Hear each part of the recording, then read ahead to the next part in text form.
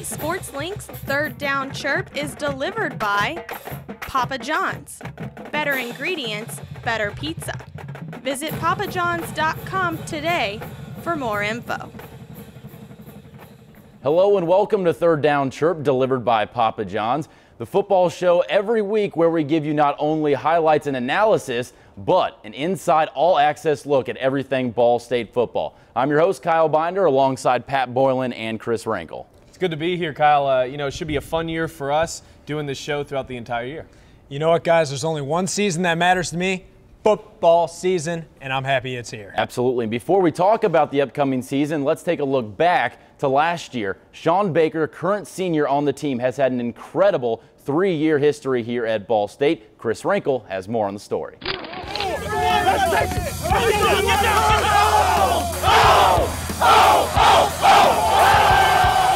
The 2008 football season was one of the most successful in Ball State history.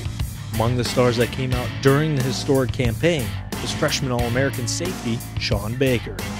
Uh, you know, it was, it was exciting, especially the year we had, you know, 12 and 0. It's, uh, it was a lot of fun. It was it was tough, you know, to keep up with the speed as a freshman. Those first couple games, learning the system. it's unbelievable. You know, uh, I can remember those 08 games like it was yesterday in my redshirt season. Uh, it's just it goes really fast, and I take advantage every day. You know, in just the month and a half I've been here, Sean is, is probably one of the best leaders I've coached in 20 years of coaching, and uh, so I think that is is a, a quality you really like to have in your in your upper class players, and Sean's as good as I've been around. Now, three years later, Sean Baker has become one of the premier defensive backs in the Mid American Conference. Heading into his senior season, Sean has already set the Ball State career interception record, but for him, there's still a lot of work to be done. Uh, the coaches are doing a great job of, you know, putting out the defense and the offense and special teams, and I think the players are doing a great job picking it up. It's just come down to, uh, you know, learning each other and learning the new terminology and the new techniques the coaches are bringing in with them. You just, you got to know your teammates. You know, when they come in, you'll learn a lot about them that first summer when we get into the summer workouts. But uh, I just got to make sure I know exactly what I'm doing every single day. I got to know where everyone else is. I got to, you know, just make sure I'm doing the right things first, and then I got to trickle down and I got to bring a good attitude to practice every day.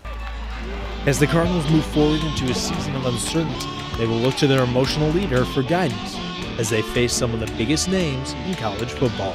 Sean's a great player. Um, he definitely goes over and beyond uh, what you have to do as a Division One football player. Uh, he tries to go out every day and make himself better, and uh, as a leader, um, I think he's a guy that a lot of a lot of guys look up to and uh, idolize. He definitely brings everybody up, makes people around him better.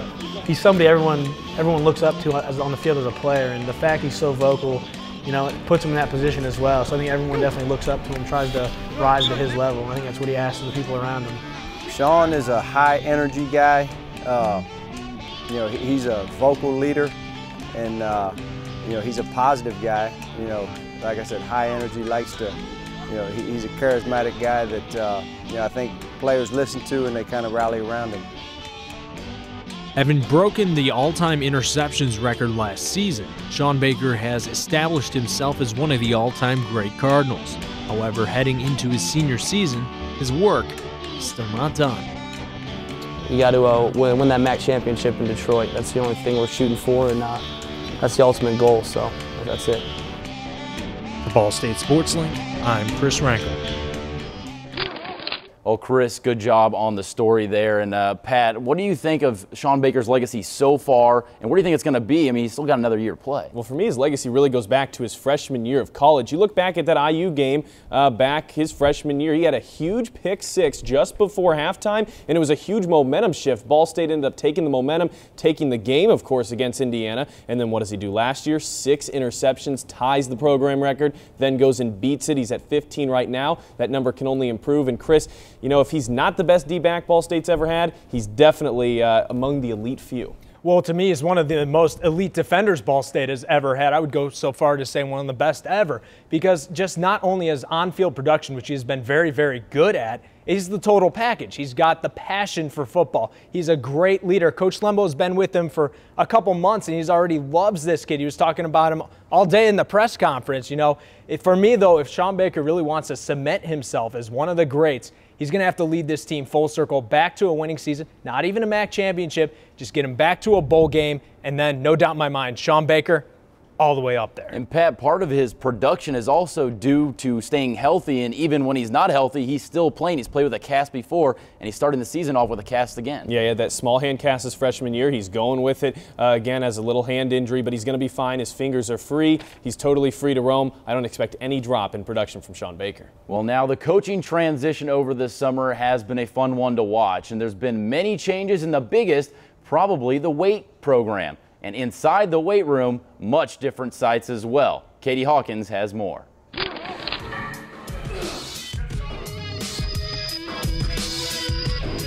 Previously, there was a philosophy called high intensity, a lot of machine-based workouts. We've changed our approach to an Olympic-style, ground-based, multi-joint approach. And basically, we're doing more Olympic movements, snatching, cleaning, jerking, squatting heavier, benching a little bit heavier. Looking at the testing numbers, it seemed that their vertical jumps could have been a little higher. We thought their bench could have been a little stronger. Their leg strength was a little bit lower than what we would have liked. So we thought that was the best approach to go about getting them stronger where we want them to be. The entire floor is completely different. We have platforms that are inlaid in the floor to make sure we can do our Olympic movements. There were uh, a lot more machines in the weight room and we have gotten rid of a good amount of them, and we you know, keep one for every body part just in case a guy gets injured.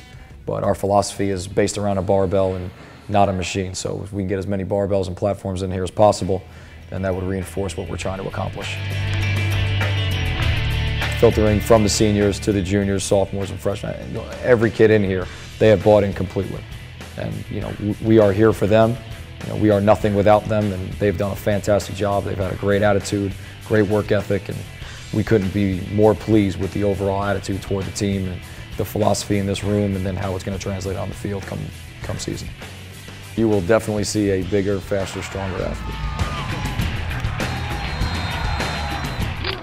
Well, it's time in the show to take a look at the 2011 Ball State football schedule. Obviously, Saturday night against IU at Lucas Oil Stadium, but then they head down to South Florida, Chris. South Florida going to be a really tough game. A lot of analysts pick the Bulls to win the Big East, and it's at their second straight NFL stadium. Going to be a tough game for Ball State. They'll play back-to-back Bulls because then they go home to play Buffalo. And guys, for me, this is a huge huge game for Ball State because you've got Indiana where the Cardinals are going to be underdogs, South Florida where the Cardinals are going to be underdogs. Then after Buffalo, you have Army, where that team went to a bowl game last year, then the number one team in the nation at Oklahoma. So sandwiched in there is a game that Ball State won last year, and they're going to really could be a must, must win early in the season to keep that momentum on their side. And then you said it, Pat, they come back home and they play Army it's going to be a tough game. Army runs that triple option, tough to stop, and it's a team on the rise. They won their first bowl game in I don't know how many years, but going to be a very tough game against Army. And then following Army, you have the number one team in the nation in Oklahoma and a team that's likely to stay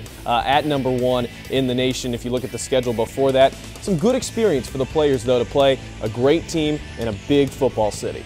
Yeah, and then they come back and it's another tough game. Temple, a quality team still. They still have Bernard Pierce. This is my game to watch. It's the homecoming game. There's going to be a big crowd out here. If the Cardinals can put on a big time show and get a quality win in Pete Lembo's first year, the community is going to come around this team and they're going to support it throughout the rest of the season. Then it's back to the road as the Cardinals go to Athens, Ohio to take on Ohio, a team that's perennially one of the best in that Eastern Division and constantly picked uh, to finish near the top of that MAC East but then they get a little bit of a break. Central Michigan, a team that Ball State really blew out last year, not as tough as they were in their MAC championship years, so Ball State looking for another win at home against Central. Then they start a three-game road trip. It begins with Western Michigan, a team that blew Ball State out here at homecoming, a real fluke game. It'll be interesting to see if the Cardinals are able to go in there and, you know, maybe break that curse, kind of get a little bit of a revenge. And speaking of revenge, they got Eastern Michigan right after that, a team that had a humongous comeback at Scheumann Stadium last year to get their first win in two years. Ball State looking for revenge against the Eagles. And then if it's tough enough, not tough enough to do three road games in a row, try capping it off with a team that may be, you know, the best in the MAC, probably has the past couple of years combined in Northern Illinois. They got to go to the road for that game. Northern Illinois has beaten Ball State the last two years. And it doesn't get any easier final game of the season at home, senior day against the MAC favorite Toledo Rockets. It's going to be a tough game, but playing at Scheumann Stadium in front of the home crowd, hopefully Ball State send their seniors like Sean Baker, Brig Orsbon out with a win. Yeah, and they're going to have to eat pretty light on Thanksgiving as they have that game the very next day on Thanksgiving break.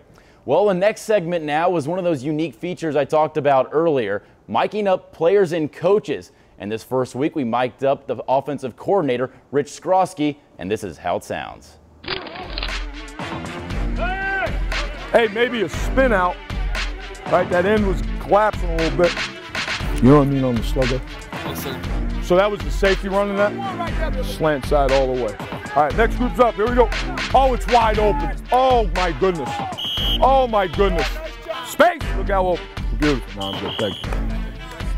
You're quick, you're fast. You don't need to go any faster than that. But you're not going to just outrun a guy. Block the corner. Block the corner. Nice ball. Hey, there you go. You knew it was hot that way? You see the safeties go that way? You know it's hot that way. Give it, give it, give it. There you go. That's a good ball. 35, 35. Ball's in the middle, ball's in the middle. You're still letting him control you. Uh, 62 tuner, what's probably the down and distance? First and 10, take four yards. Don't be greedy, all right? Great job, Cal! Great idea, though. I, I now head football coach Pete Lembo at the helm of the team, and he's brought some new schemes with him offensively and defensively. Chris, we'll start with you on the defensive side of the ball. Well, guys, over the summer I watched a little bit of film on Elon's defense, and there were a couple things that really stood out to me. Coach Lembo's defensive teams, they like to attack the ball. They're fast and they're very athletic, and you can see evidence of that here at Ball State already. We already saw Aaron Morse dropping down from the safety position to the strong side linebacker position. He put on 30 pounds of muscle just so they can make the move. And then we're going to see a lot of Sean Baker more in the box, blitzing a lot because this defensive line is young and they're going to not really have a good time getting a lot of pressure on the quarterbacks. And that's something that we saw last year the team really struggled with that's going to be a big key this season. Yeah, Chris, and offensively, it's an offense that Coach Lembo himself says he thinks will be fun to watch for the fans. Expect it to be fast paced. Expect a lot of shotgun. Expect a lot of throwing the football. Coach Lembo has had a receiver in the top five nationally almost every year he was at Elon, so expect that uh, to continue. But really, it should be a fun offense to watch for the fans and an offense that has proven success over the years. And Keith Wenning also said it gives him a lot more control over the offense, so he likes it a lot more as a quarterback. All right, well, we'll keep the show moving along and we'll talk about a segment we have coming up premiering next week. Starting next week, we'll be taking your Ball State football questions and answering them on the show in a segment we call What's Chirpin'? All you have to do is tweet at us at Third Down Chirp on Twitter or email us at thirddownchirp at gmail.com. Well, it's finally time to talk about the big game. Saturday night, 7 o'clock, Lucas Oil Stadium, Ball State and IU. Last two times these teams played was in 2008. Ball State won 42 to 20 in Bloomington. But guys, everything is completely different for both of these teams. Throw it all out the window. Two new head coaches. Pat, first for IU, Kevin Wilson. Yeah, for IU, it's Kevin Wilson. He's the offensive coordinator, the former offensive coordinator at Oklahoma. Wilson's the guy that's coached Sam Bradford. He's coached Adrian Peterson. He's coached the best of the best. He's won national titles. But one thing he doesn't have on his resume is former head coaching experience. And I think that might play into Ball State's uh, edge. As Coach Lembo has 10 years of coaching experience, Coach Wilson, zero. Yeah, and looking at the Ball State thing, it's kind of the opposite. Coach Lembo, as you said, a lot of experience.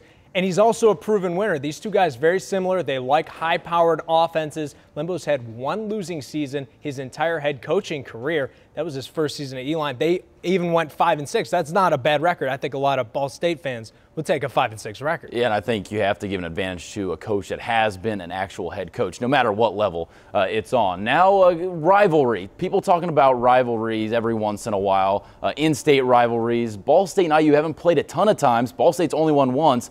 But could you see this thing to kind of turn into a rivalry if they play consistently every year? Well, yeah, they've got three games kind of on the docket. One on Saturday, one the year after, which is going to be at IU, then one at a later date. It's definitely an in-state rivalry, and you don't have to look anywhere further than the recruiting services online to see. You look at a lot of the kids that Ball State's offered, and IU's offered a lot of those same kids. Now, IU is 4 and one against Ball State in the five years, but the last game on this field behind me, IU barely edged out a last second win, so it could be very different. It could be a lot closer, and if Ball State could pull this one out, then the Cardinals have taken the last two.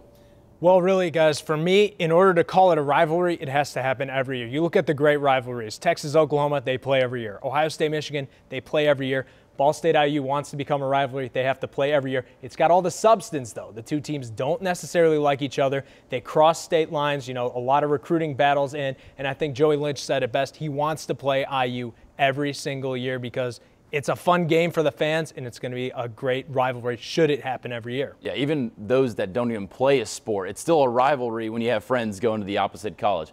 All right, quarterbacks. Big time talking point for the Cardinals, but it's become a big time talking point for the Hoosiers as well because they're all they're all up in the air because they have two, maybe three guys that could play this weekend. Yeah, it's a bigger talking point, I would say, uh, for Indiana than it even is Ball State. You've got two guys that are really kind of emerged a little bit as the favorite. That's Dusty Kiel and Edward Wright Baker. And right now, Coach Kevin Wilson, we're only a few days from game day, and he still hasn't named a starter. And I think you could see both of these guys, Dusty Kiel and Edward Wright Baker. Wright Baker's a little faster. Kiel's the little more of the drop back, prototypical quarterback, but you can't forget the wild card. That's Trey Roberson, a true freshman. He could even see some time as well. They're comparing him to Antoine Randle El, a former IU great.